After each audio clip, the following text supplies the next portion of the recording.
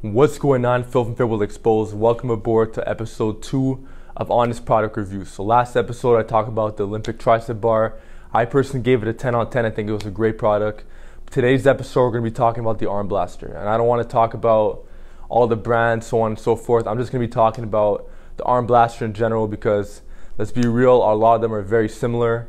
It's an apparatus that you attach onto your neck, and you have a very stable support for your arms so that they don't move all around. So, the idea is definitely good if you want to isolate your arms a lot more. And that's actually why I ordered in the first place. It cost me around 25, max $30 with the shipping and everything.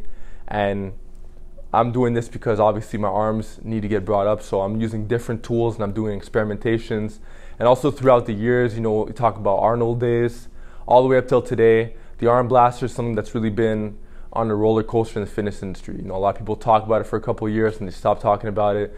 So I just wanted to get my hands on it and really give you guys my personal take because I don't want to judge it without knowing anything about it, without trying it myself. So let's get into it. So, like I just mentioned, the idea behind the arm blaster is very simple. It's for people who have a tendency to move their elbows around all over the place when they do their push downs or their curls. And there may actually be other functions for this device, but that's all I know how to use it for. So, take the apparatus, put it around your neck, Make sure you adjust it first, and then you put your arms right over. Okay, now we got the EZ bar. I'm gonna grab a close grip, stand up, and then you get to curling.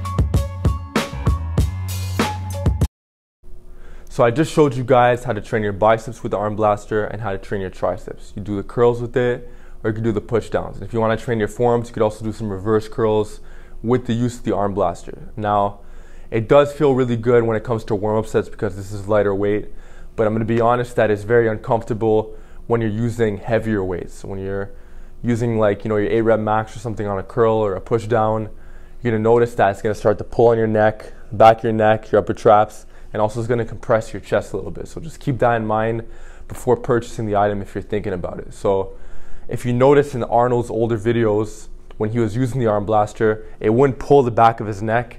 It would go more on the traps, as in this fashion. I'll post a picture on the screen. If you have a chance to get your hands on an arm blaster like that, it's going to feel a lot more comfortable for you because then you're only going to have to think about the chest compression aspect. But now with this one, you have to think about the back of the neck, and the chest compression. So I don't really use heavy curls or heavy push downs with this piece of equipment. I'll use it more for warm up sets, you know, for more for pre exhaustion or for pumping up the muscle at the end, you know, like three sets of 33 on push downs or curls. And that's just that.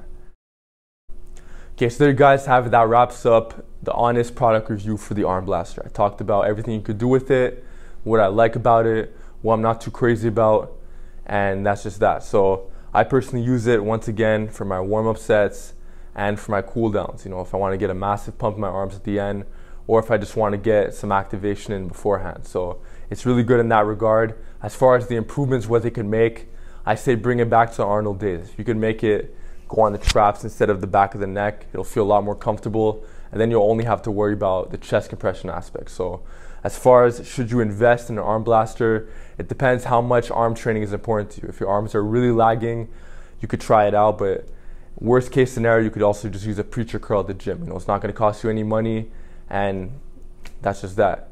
Also, if you have a tendency like me to move your elbows around when you curl, this is a tool that could actually teach you how to brace and just keep them really close to your obliques and just focus more on that muscle. My mind muscle connection definitely improved in the last two weeks I started using this exercise device. So just take it with a grain of salt. It's just my two cents.